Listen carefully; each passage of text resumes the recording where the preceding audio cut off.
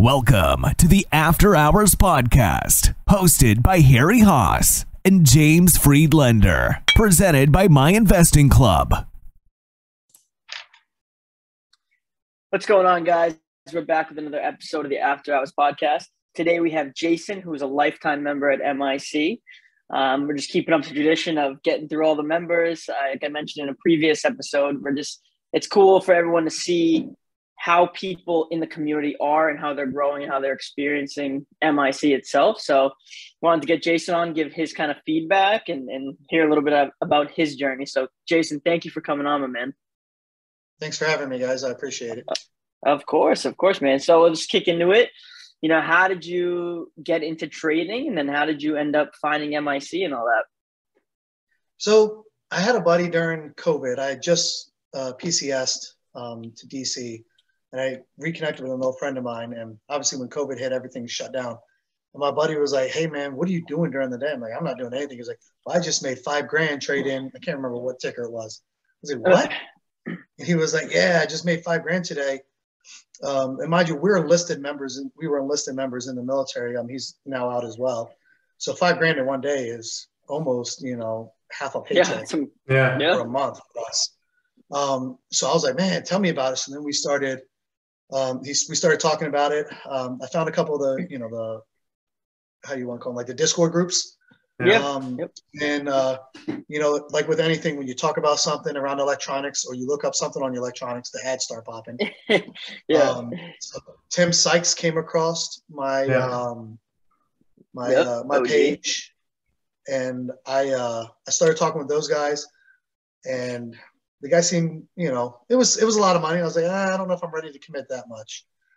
Then I bounced into the discords and I found that you know the education route is the way to go because like most other people, I was just listening to what the Discord guy said and I was losing a lot of money. Oh shit. Um, yeah. And, oh shit. Uh, and I was trading like I listened to them like they're like, hey, if we make a call just for uh, instance, hey, we make a call on Tesla, it's going to run up Wait till it, you know, wait till it, you know, dips a little bit. That's when you get in. Don't get in right when I call. So I was like, all right, cool, I'll do it. And I did, and I lost.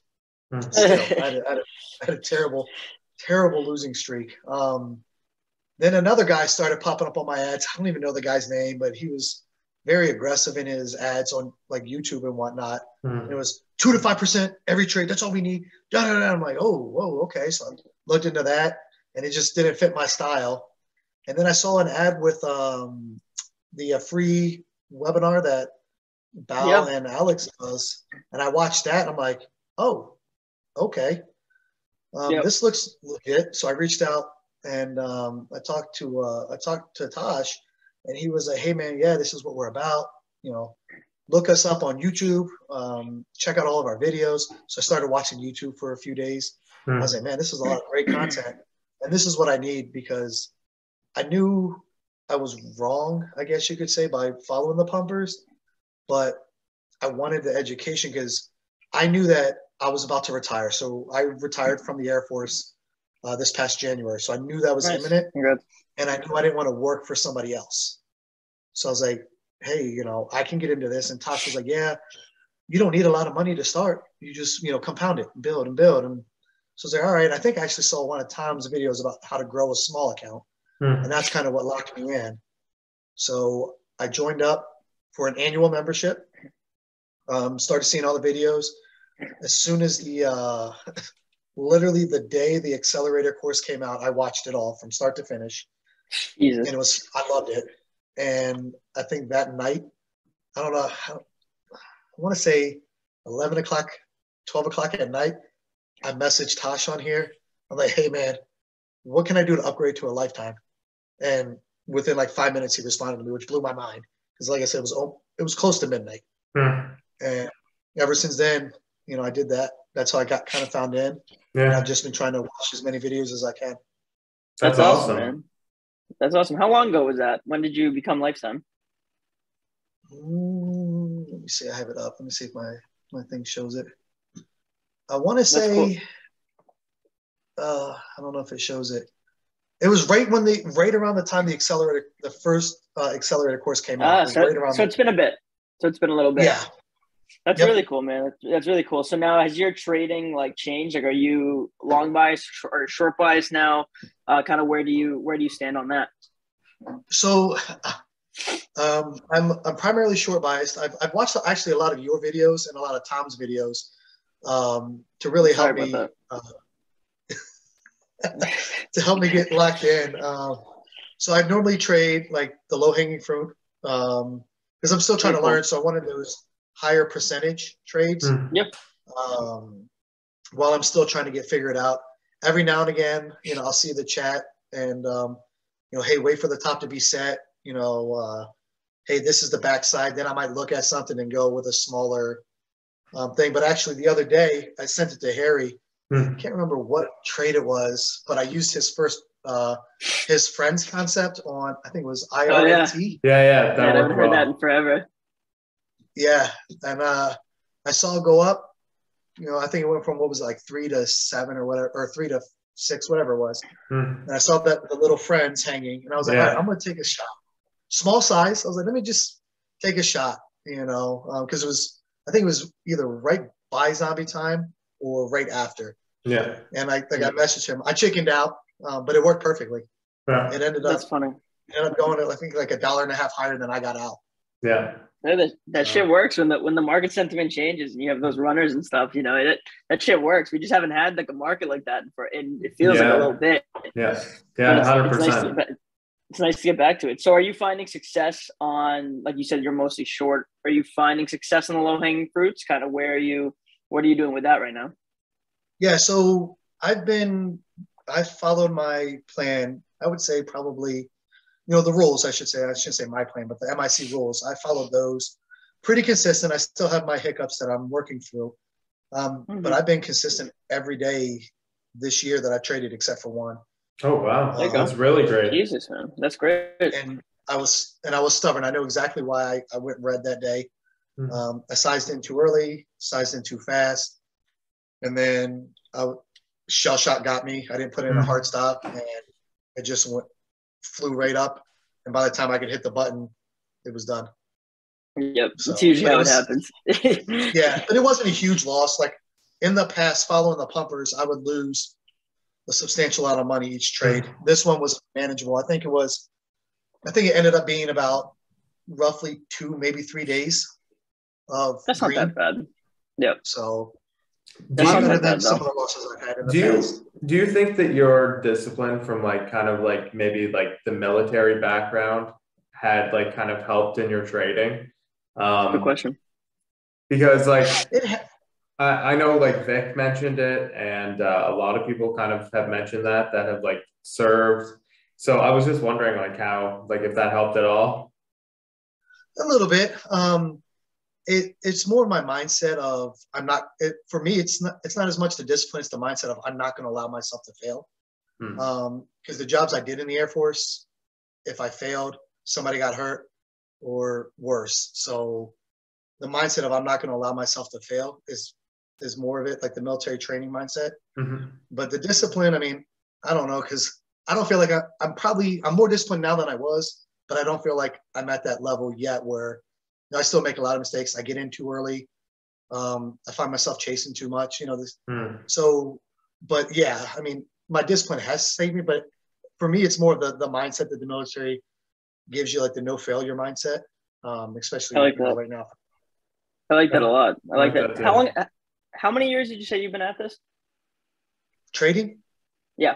Um, so, like I said, I want to say it was around April or June of 2020. Wow, so it's not even that long, man. That's pretty good. I mean, if you if you're already finding like that kind of consistency and like you have that level of discipline, like that's for a lot of guys, like that that takes years. So that is so kudos to you. That is awesome, and, and it sounds like you kind of at least understand like the responsibility of trading because like you've had some serious responsibility in your life. So I find that really cool. And I guess like at where you're at now, you know what is causing you the the struggles what's what's stopping you from kind of getting to that next level uh, in your trading do you have you pinpointed that do you know things that are that are giving you trouble or or how what do you feel about yeah. that So, so the the initial issues that I'm having, or the the current issues that I'm having right now are, I, I kind of get in. I think a little too early. I don't trust my lines enough. Like for talking purposes, we'll say a stock like we have lines at 520, 540, 560, stop at 570. Yep. It'll get up to like 510 and then we'll start to creep down. I'm like, oh, I gotta throw some, I gotta throw something in. Not a lot of size, like a starter size. But Yep. still, you know, then that brings my average, you know, down. And by the time it hits that, you know, 560 line that we were anticipating, I have small amount of bullets, so my average is is not where it could it should be. And my tabs, I mean, they we talk all the time. I'm like, hey, I'm looking at this line, this line, and this line. And then sometimes I don't wait for my lines, um, Mm. which is gets me. And then the other big issue Yep. I have is just um, trusting, like letting it stay Yep. green because I have, uh, I guess you could, for lack of better words, PTSD of letting a green trade go red and it goes Yep. red real fast, real Yep. hard. Yep. So I scalp. I'm mostly just once I hit that 10 cent range, I put my stop and I'm just like, hey, I'm out, I'm out. Yeah, Just we let we uh we had someone else on this morning and uh i guess like kind of like the difficulty that he was facing was that um basically he wasn't kind of patient enough for his lines. And i was kind of giving him some pointers on saying like if we have a stock um for example let's just use kind of low hanging fruit as an example. The the times that i've seen low hanging fruit fail the most would be like if we have a stock that opens super under VWAP, it's usually like just over VWAP where we get that fail. It's usually like the line that's like right after VWAP where we see it fail. And if we open up kind of at VWAP, it's like a line where we're a bit like distance from VWAP. So we have like some room to kind of come down, you know? Um, that was like a problem because he's like, you know, I, I just find myself getting in too early every time. But I, I told him, I was like, you know, you have to kind of uh, I guess like paint everything together. You know what I mean? Like you really have to try and like paint a picture, right? And the problem is, is that a lot of people are just shorting random lines on low hanging fruit and they don't really know what they're doing, you know? But if you have a, a situation where we do open up super underneath VWAP, and then as we're kind of coming up, we get a little bit overview VWAP and we get all those long traders that are just buying and chasing and chasing and chasing because they're like, oh, it's a VWAP reclaim. This thing has got to go to the moon, right? But usually that's kind of a, a long trap. Like from my uh, perspective and like from my trading experience, I've always noticed those things to be kind of long traps, right? So number one, you have longs chasing. So if that fails, you know you can rely on all the longs that are bagged for supply, you know? And then maybe we have like a whole or half dollar number up there. There's another thing that you can kind of add to the list, right?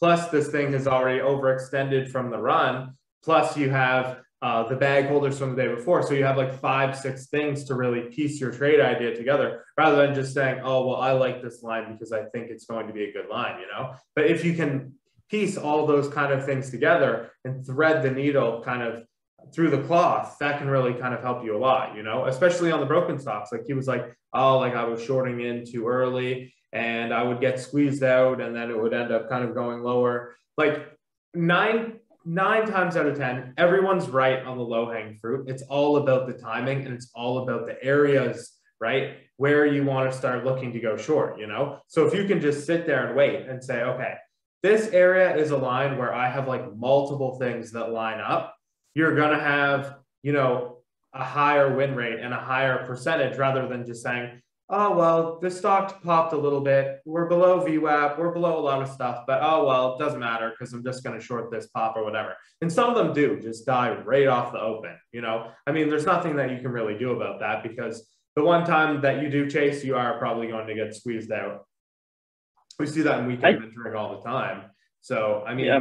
that's just kind of my point of view, James. I don't know if you want to chime in. Yeah, I, I always find like for the low hanging fruit, the problem is kind of like what you said, Harry, is just that that people try to get in early. They it's like they look at a low hanging fruit chart as a day one chart, and that the stock is like broken and like under VWAP. And then like, do you know how many like charts in the chart re- recaps and fills? Like I see someone losing on a low hanging fruit, which shouldn't happen that often, in my opinion, because if you they're just two separate charts. Like a day one stock that's broken under VWAP, sure, you can hit those pops under VWAP or pops to VWAP if you want to scalp it or something like that. But like on the low hanging fruit, like you said, most of the time people are just getting in way too early. And the way I like to approach the low hanging fruit, I don't play them often anymore. But what I what I found success on those, or what I did well at least, was I just started avoiding the first line no matter what. Like I stopped shorting like VWAP on a low hanging fruit or even like the first line above it if it was close. Cause I just always felt like the low hanging fruits that I lost on were the ones where I was getting in around VWAP or anywhere near that area. I don't know if it was just previous shorts covering uh, or, you know, like Harry said, longs thinking it's a VWAP reclaim, whatever. So I just started kind of mo- erasing my first line and that actually helped a ton because more often than not, again, a stock is gonna mag it's gonna like go to your line. That's where you want it to be. And I kind of just had this this mental discipline of like, it's either gonna hit my perfect line on a low hanging fruit. And like Harry said, you can use there's so many factors. You're like, oh, this is where longs are stuck. This was a previous support. Now it's going to be a resistance. You know, you can line up factors. This is where yesterday's VWAP was, whatever you want to do. And like it's either it hits that line or nothing. I just cancel my fantasy orders. You know, fantasy orders on low hanging fruit, especially if that's kind of the strategy you want to trade. I definitely recommend kind of like almost only using them because a lot of times yeah. low hanging fruits don't give you the opportunity to like actually size in because it's not really an A plus setup for most. It's it's unless it's like an, there's an A plus low hanging fruit, which is like a major mover day one. Like you know, I would say like right in this market, 30 to 50 million plus volume traded and it broke down. So like you have a ton of volume, that might be an A plus low hanging fruit. But if it's just the day after like a normal setup, then you know there's really not that much opportunity to use size. So to me, it's like you set your fantasy orders, you set your stops, and then you have your areas to get out because they're set on the chart already with your you know support resistance, and then you kind of just it's like hands off because the, where people tend to lose on these stocks is when they try to take the driver's seat too much they try to be like, oh, it's bouncing. It's not going to hit my line. It's not going to hit my line. I'm going to get in a little bit. I'm going to get a little bit more. And by the time it actually does what you thought it would, it blows your ass out of the water. And you're like, how did I just lose on this thing? Like I had the right plan, you know? So that, that those things kind of helped me out a ton, especially when I was, uh, you know, more new, I would say. Yeah. Is there anything else that you think like may might be like preventing you or like any other issues that you think that you have? Because like, you know, while you have us here, like it's awesome to just kind of go over and kind of talk about stuff like that. Yeah. Um so my like the biggest thing is just getting in early. Um and then the hard stops, I gotta be more disciplined at, at putting those in.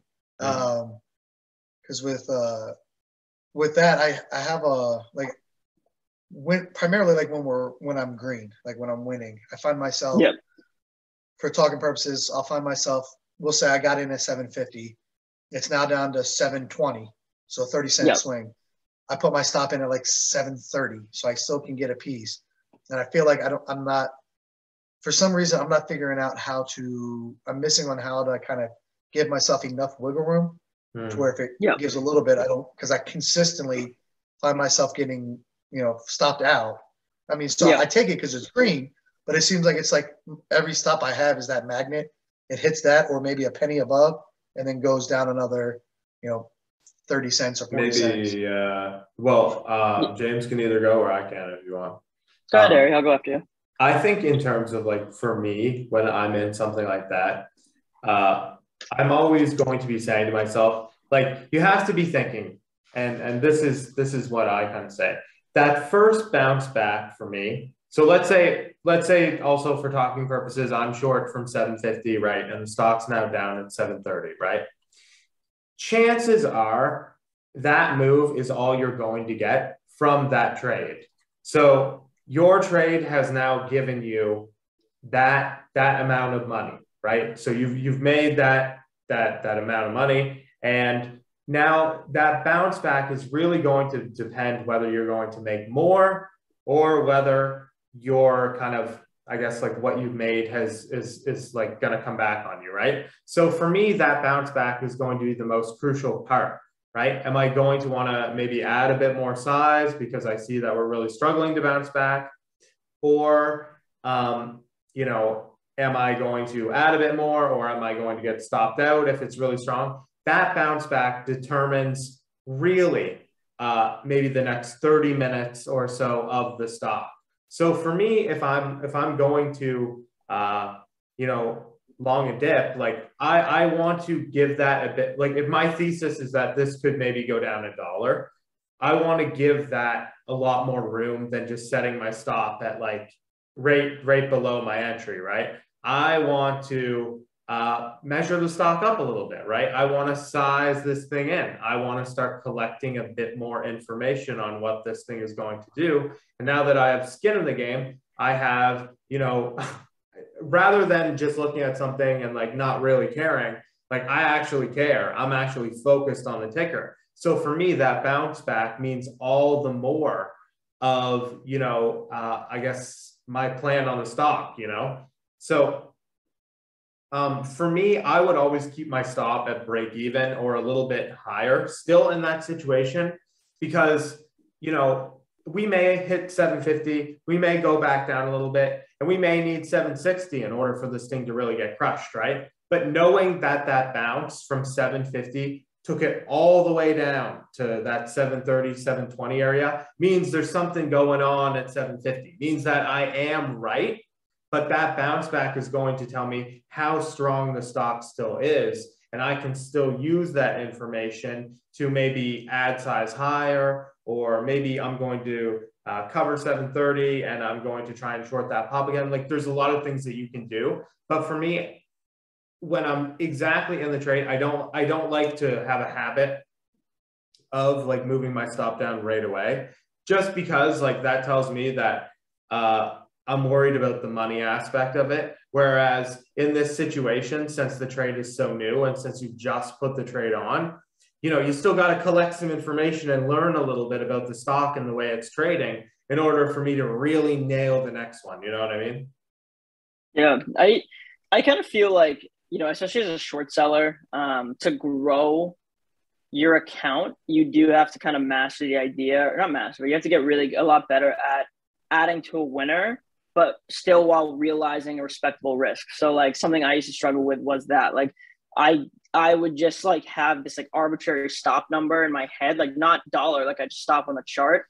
And it never really worked out that well because I'd add more size. And then if I did take a loss, it was kind of random. So like what I always kind of recommend now is like finding this consistency in your losses idea, um, which I've heard from other traders and I love it because you know now it's like no matter what trade I'm in, I always have like kind of like a set like risk a number in my head that I'm going to lose if I'm wrong. And I base that on the chart. So like if high of day is, you know, 10 cents away from my, from my potential entry, I know where my stop is. I know how much I'm going to lose and I can size in accordingly to that. Now, when the stock breaks down and it's like proving that it's working, I can't really add to that position or anything like that unless another level presents itself that that is important because high of day to me is like important. Like that's how Alex says it, right? Of day is like an ultimate stop out.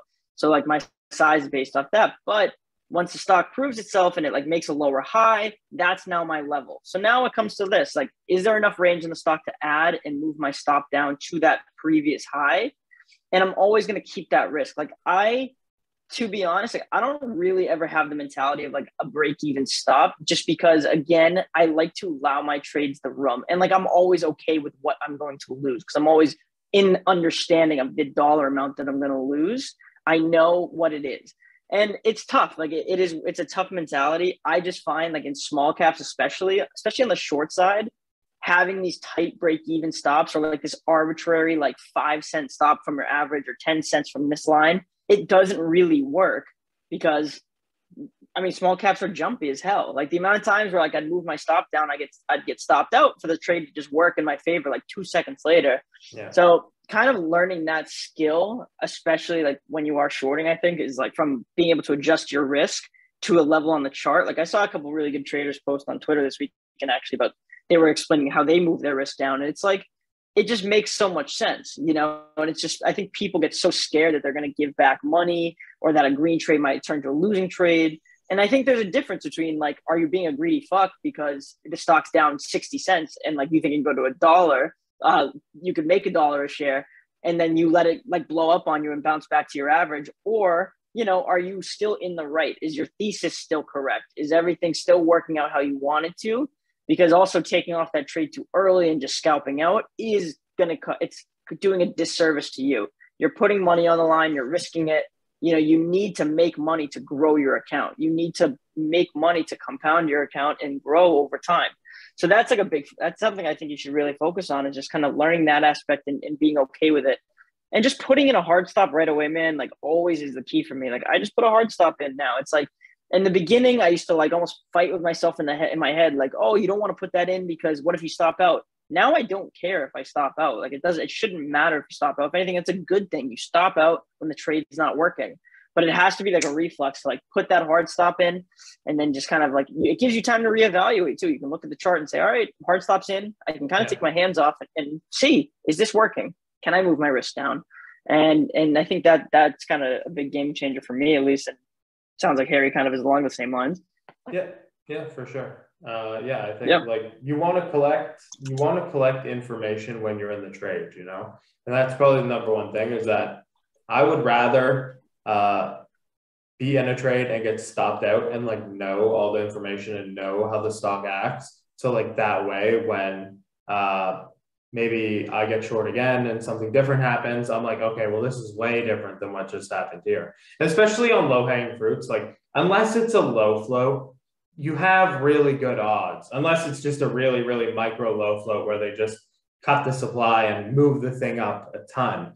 You know, you have great odds. So you can kind of take, uh, you can kind of use that extra kind of odds thing to say, okay, like unless we're doing a ton of volume and it's grinding me out, or unless it's a low float, you know, the timing is why it's so perfect, right? The timing is why those trades work well. So like you have all the more to gain, number one, by just I think just having a normal stop and also saying to yourself, like, these are also low hanging fruits, right? You know, they're not, it's not like you're trading a crazy jumpy day one. It's not like you're trading a new IPO that just came out. You know, they're low hanging fruits. So uh, you can add a little bit more, maybe size in a little bit more, and you don't have to be as, you, you do have to be cautious, but you don't have to be as cautious as like any of those other like examples, I think. That's right. Yeah, I agree. Now, Jason, are you do you have plans to kind of expand from low hanging fruits? Uh, I'm just kind of curious. Do you ever like think about day ones or any of that stuff? Yeah, so I've dabbled in a couple of the day ones over the last week or so. Um, but so when I've been in those, it's been um, I'll say like not even I don't even know if you would call it starter size, just because I'm trying to learn it. Um, yeah, I, yeah. I, get enough yeah. in, you know, for talking purposes. You know, I trade right around 500 shares, we'll say. So I'll get on on like a I can't remember what, what it was the other day pre-market.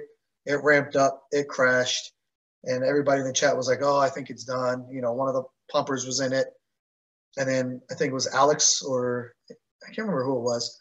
Um, was like, "Hey, I, now I would adjust my line to here, here, and here." Um, you know, because it's on the backside. So I was like, "Oh, okay." I'm just trying to see the philosophies. I do a, for those. I do watch a lot more um, cool. That's why the commentary in the in the room is is awesome.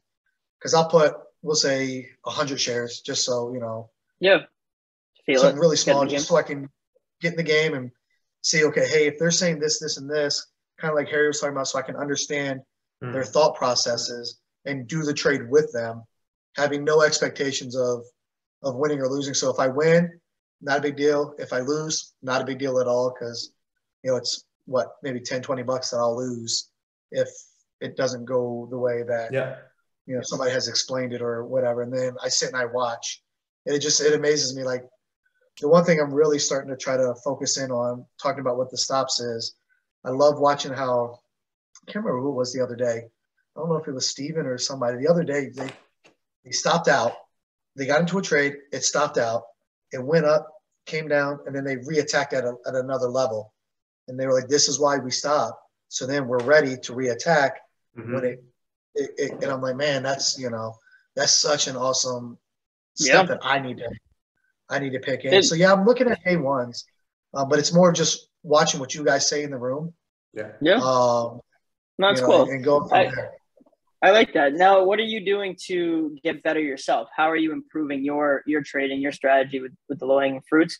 Are you doing anything kind of on the side? Do you have a tab group you work with? You know, what's what are you doing actively outside of market hours to get better? Yeah, so I watch videos. Um, I attend Monday, Tuesday, and then I rewatch Thursdays, like on Fridays, because this is kind yep. of what I do. Um, nice. Uh, my night times are full. I got four kids, so nighttime is Jesus. is kids. yeah. But uh, I watch as many videos as I can. I I do have a tab group. Um, there was a couple of guys in the accountability uh, section of of Slack that was like, "Hey, you know, I'm looking for." I was like, "Hey, so am I," because I took about eight months off last year, um, yep. due to some some personal reasons where I, I just I had to pull money out of my account yeah, to take care of some other things, and um, I was able to to get the money back re reattach. So I've really focused in January one, treating it like a job. Yeah. You know, like in the military, um, for one of my jobs in the military, I worked finance. So I go to the basic, you know, the the tech school for finance. I learned the base level finance. I go off to the next base. I start working customer service, taking care of people's money, their vouchers, you know, moving money around for people. But while I'm doing that, I'm still learning how to become more proficient. It's called upgrade training in the military. Yep. Um, so I'm, t- I'm treating it just like I did with my military training. Uh, I've got that base level. Low hanging fruit is kind of like my from, and the reason I chose it, it looked like it was like kind of like that entry level. Hey, if you want to be profitable, you can use this. Low risk, low reward, but still you're starting to understand the game. And now it's take that next step. And my tabs, yep. we uh, we send each other videos. One of us actually was it Thursday or Friday of last week was like, man, we, you know, I really want to get better at building my watch list and finding, you know, because what he was talking about was how people kept posting, you know, like the watch lists and then, hey, here's the gappers for the morning. He was like, I need to get better at that. So we went on to uh, the web page, found a couple of videos. Hey, let's watch this, this, and this, and then let's talk about it. That's I love great. that. I love. That's yeah. huge. I mean, I feel like you need those guys to kind of bounce off of, and like, you know, like kind of like I like what you said too. It's like I've noticed once you start treating trading like a job, that's like a lot of the interviews I've listened to and the other podcast episodes I might hear from other people. Is like that's usually when people trying to turn the corner. When you can start treating this like a job rather than a gambling addiction, it's mm-hmm. that's usually the tipping point for a lot of guys. And you know, I mean, it is. It's like you're like you said, it's a military. You're a military guy. You could you have to treat this like a regimented job yeah. that has like a success rate, like that you know what you have to do to be successful at your job. The better you do your job, the better, more efficient you are, and the more money you're going to make. And it's the same thing in trading. It's like all, it's all very similar. And like, I, I think it's cool. I think you're on a really good path with that, with that discipline that you have and understanding how serious it is. And, you know, one thing I kind of wanted to ask, you know, maybe to even wrap it up, but, you know, you said you have four kids, right? Mm-hmm. That's cool. That's crazy. So now, how is a dad? This is something that we don't ask often, but how is a father and as a parent? Is it hard to kind of put the time into this and like study and do that? But like you seem to make it work. So I just kind of want to have you touch on that a little bit. You know, pressure. Do you does it? Do you ever feel it? Do you feel like there's like almost like you have more will to be successful because you know you have kids? Like how does that that work? Is that something I don't deal with? Harry doesn't deal with. You know, yeah. we, we don't we don't ask many people these these things. Yeah, so um, I'll start off with saying I'm. I feel like I'm kind of an anomaly. Now that I'm retired from the Air Force, I get my retirement pension. So cool. you know, I can't remember was was it Bao in one of his tweets or something, and he was like, "Hey, you know, when you're starting out, you don't want to make this put pressure on yourself to where you have feel like you have to make money because if you feel like you have to make money, you won't. You'll you'll break rules. You won't be as successful as possible. I can't remember. I thought it might have been Bao. I can't remember who it was. Yeah, this sounds like about yeah. Um, so I I uh, I am lucky enough to have my uh, my current wife. She uh, she has a full time job, so cool. we kind of live off of my retirement and her her paycheck. Um, and she's able to get. Uh, I have a we have a uh, blended family, so two of the yep. boys go to school 30 minutes away from here, which is by where she works. So she takes them. One of the one of our children rides the bus because her middle school is a little bit away, and I just take one kid to school at um, for me 8 a.m. 9 a.m. market time.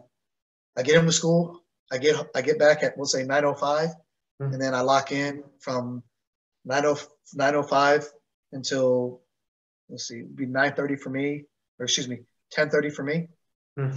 and that's where I I'll do my you know hour of trading. Uh, I kind of like that philosophy. Then I study for I an hour.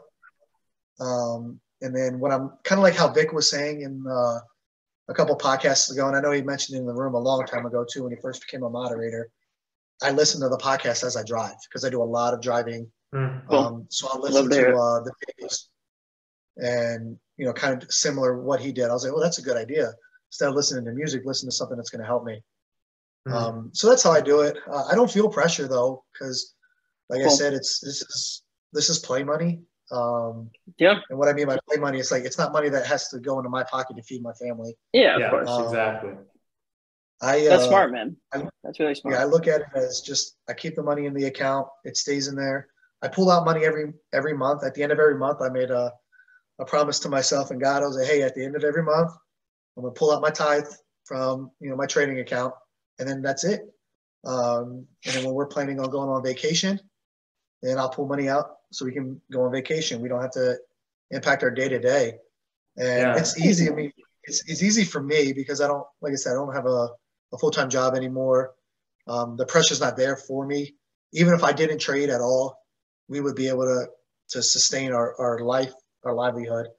And the kids are in school, and even when they're not, they kind of let me be for the first hour of the day, and then that's when it's difficult, like over the summer or when they're on breaks, because I don't want to sit and watch videos and study because I want to spend time with the kids Yeah. but they're they're they're at that age now where I'm like, hey guys, I need an hour. Just give me one hour, you know, early afternoon, or I'll do it after they go to bed, and I'll Yeah. stay up a little bit later. I'll watch an hour or two of videos. I'll review my trades for the day, and then prep for the next day. Yeah, and I think that's great. And that's a lot more discipline than a lot of people are putting in. That's the thing, is that like for for someone like you, like just even listening to me, like uh uh like listening me listening to you talk is what I was trying to say. Like I was like, wow, that's like a a great amount of work, you know, to be putting in every single day. Whereas most people are like, for them, it's like a choice. Like they're like, ah, do I want to put this in today? Do I want to do this today? Do I want to do this? Do I want to do that? You know, as far as you, you've ingrained it and made it a part of your routine and your habits. So now it's not as much as a choice for you, where it's some something that you need to do each day. You know, it's something that is ingrained in you to do each day. And that's what I think is so great. Whereas a lot of people are like, do I want to watch Netflix or do I want to work on trading? And then a lot of people pick Netflix and then it compounds and compounds and compounds. And in a lot of my trading calls, I'm like, man, you, you really gotta pay attention to those videos. You gotta start watching the videos. You gotta really treat it like it's, you know, university or whatever, you know, if you were doing a course right now on, you know, uh, I don't know, anything, you know, this is how you would have to approach it, right? And it is the exact same thing. So I really do applaud you uh, on that for sure. Like I said, it took me a while, so I'll be upfront with you guys. Um, even though I've been a member of MIC and I watched the videos, I watched the accelerator course. Um, before I realized that shorting was kind of fit my lifestyle better, Harry, I watched all your videos. Yeah. Um, 'cause I was going along, but then I was breaking all the rules. Um, 'cause I wasn't sticking, sticking to it. So now that I've kind of made it that business plan, I stick to those videos. I watch them. I do the notes. I listen to you know Bao's Tuesday lives, Alex's Monday lives, Tasha's market sentiment, or no, not Tosh. Uh, Austin. I'm looking- Austin. Now I'm looking like an idiot on here. Sorry. um, one of them days. I apologize.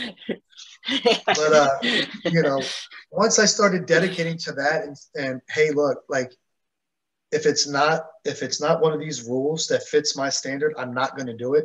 That's when I found that success because if if you know I'm watching a Tom video and Tom says, "Hey, I short like this," then I watch a James video and James is like, "Hey, I short like this." Then I see a Harry video, he's like, "Hey, look, if you're going to long, you can't do this." Yeah. And then I'm like, "Oh well, that's three different people from three completely different places, both around the world and in their trading. It's got to be something." Yeah. For Yeah. sure. I like that. I think that, that's probably a good place to end it. Actually, that was that was a really nice kind of ending statement. I feel like. Yeah. So thanks for uh, coming on, bro. Yeah, Jason. No, thank, you dude. guys. Thanks. No, that that was awesome.